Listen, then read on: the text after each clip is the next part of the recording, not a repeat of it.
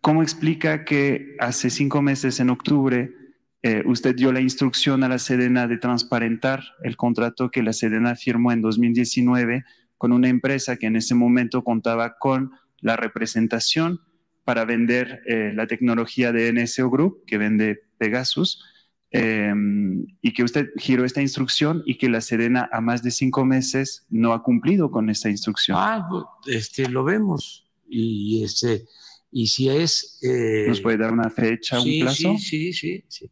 ¿Cuándo? Lo vamos a analizar porque es un asunto de seguridad y yo no les voy a dar a ustedes información este, delicada que tiene que ver con inteligencia, porque yo no sé ustedes de dónde están sacando la información, quién se las está entregando. Viene Entonces tengo que tener cuidado. Viene de la filtración de datos de, de Guacamaya. Ah, fíjese, ya nos vamos entendiendo. Según ¿Quién hasta es el momento, Guacamaya? hasta el momento no se ha desmentido ninguna de las No, no, no, historias no, que se han publicado. pero dígame quién es Guacamaya. Es la Sedena. Bueno, Ah, son documentos de la. Sedena. Son documentos, archivos internos de la Sí, Sedena. pero ¿quién hackeó? Fue Guacamaya, ¿no? Esa información que hackearon, donde aparece de que yo tengo este, varios males, eh, que estoy malo del corazón y que hipertenso y que mm, me tomo este cóctel de pastillas y todo eso. ¿Quién es Guacamaya? ¿Quién hace ese espionaje? ¿Por qué no hacen una investigación ustedes sobre eso?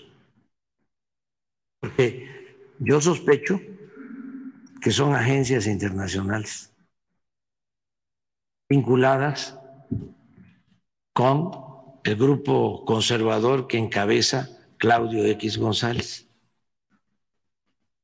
Entonces, esa información que es ilegal, porque no se puede extraer, hackear este, información de ninguna dependencia del gobierno, de ningún particular, es la que utiliza este que vive en una unidad habitacional del Infonavit, Lore de Mola, que tiene un pequeño departamento de 200 millones de pesos. Ese se alimenta de guacamaya. Y proceso tiene como fuente guacamaya.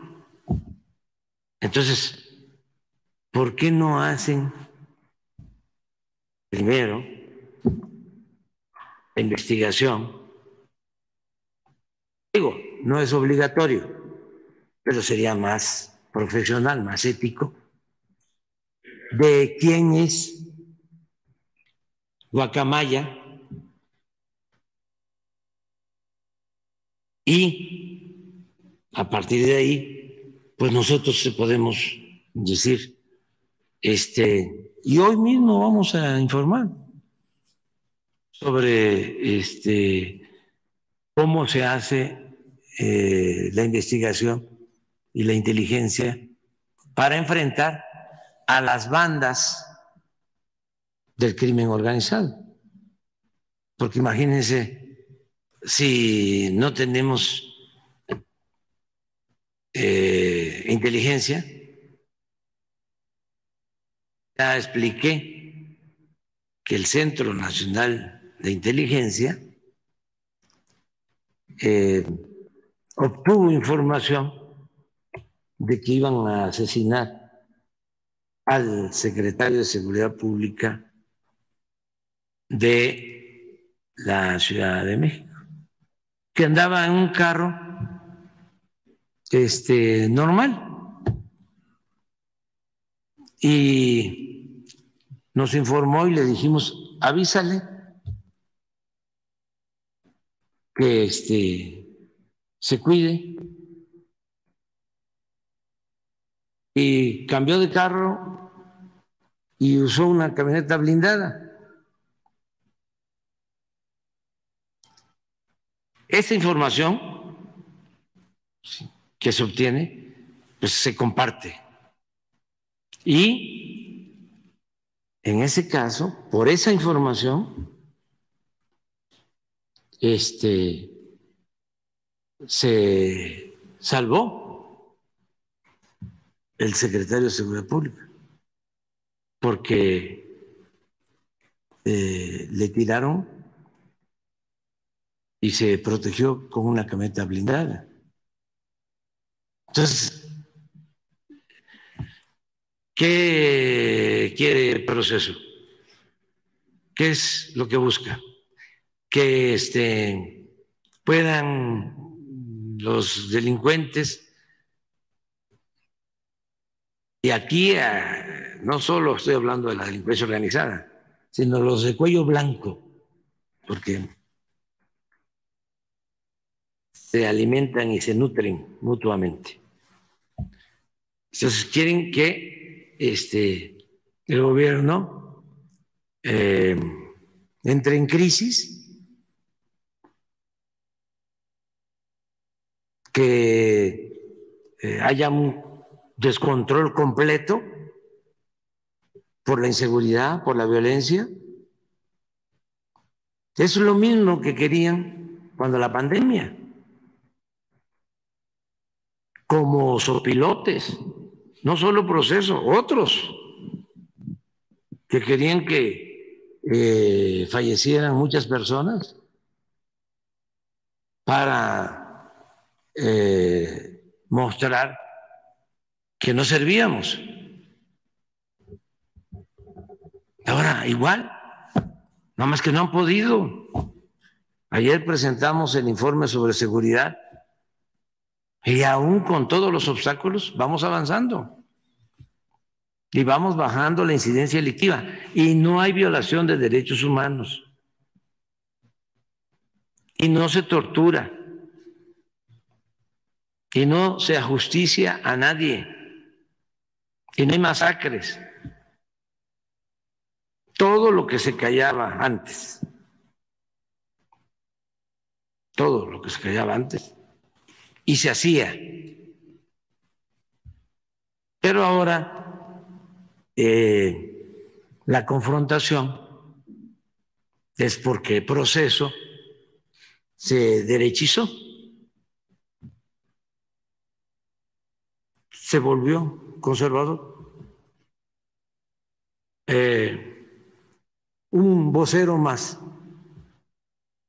del conservadurismo. ¿Cómo el reforma? No hay diferencia. Los que escriben en proceso también escriben en reforma. Es lo mismo. Entonces, vamos a entregar hoy el informe, un boletín, no les va a este, satisfacer, pero lo vamos a hacer. O sea, porque ustedes traen este, consigna de atacarnos, como otros medios. No, que nos vamos a meter en eso. No, deberían de ayudar al proceso. Los periodistas son mirones profesionales.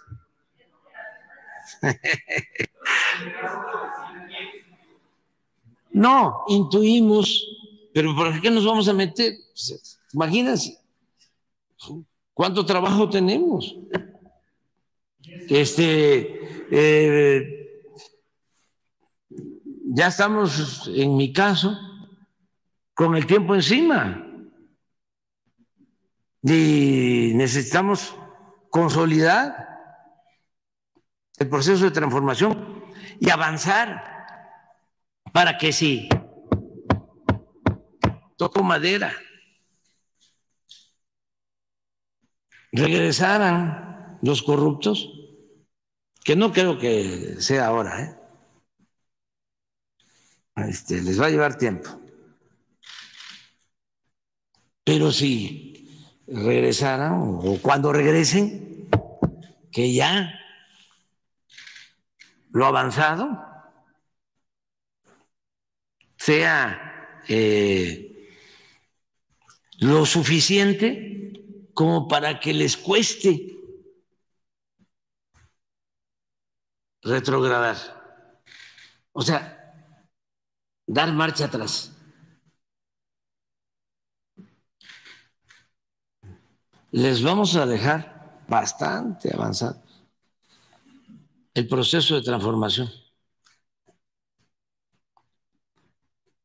Pero vamos avanzando gracias a la gente, al pueblo, y enfrentando todos estos intereses.